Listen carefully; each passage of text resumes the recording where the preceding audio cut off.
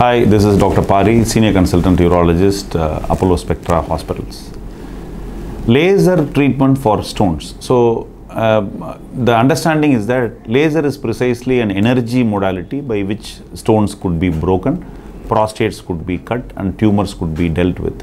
So, it is an energy mode by which stones are broken. It can be introduced through rigid ureteroscope, through flexible ureteroscope, through nephroscopes.